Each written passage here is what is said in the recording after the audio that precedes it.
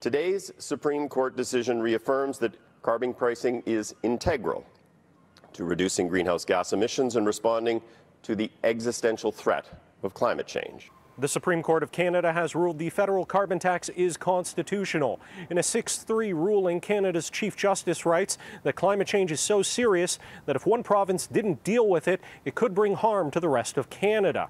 And if provinces won't bring in their own plans to meet emissions targets, or those targets are too low, the federal carbon tax can step in as a backstop. I think today the issue around whether carbon pricing forms part of Canada's plan with respect to uh, reducing emissions is over.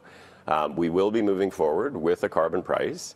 Um, and of course, we want to do that in a way that is uh, that, that fits within the context of the Canadian Federation. As the Supreme Court said, our plan does. But the provinces who sued disagree. Alberta, Ontario, Manitoba, and Saskatchewan joined together to bring the issue to the Supreme Court, and those provinces expressed their disappointment today. Alberta's Jason Kenney says natural resources falls firmly under provincial authority and the Supreme Court decision on the Greenhouse Gas and Pollution Pricing Act risks rewriting the rules of Confederation. The best we can hope for is that the Supreme Court has invented a one-time only carbon pricing exception to the constitutional order. Kenney wasn't alone. Two justices, Russell Brown and Malcolm Rowe, wrote dissenting opinions saying just that.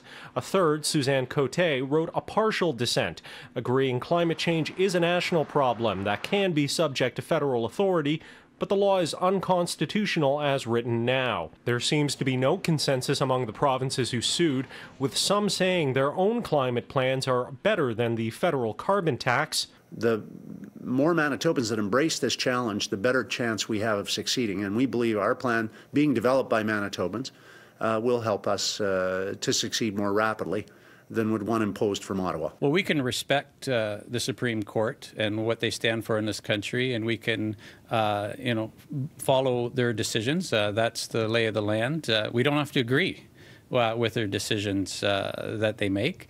Um, but I do know that uh, we are moving forward with our Made in Ontario Environment Plan. While Alberta seems to be taking a wait and see approach before deciding on a next move. We're going to consider all, all options here, listen to Albertans and see uh, what they want us to do.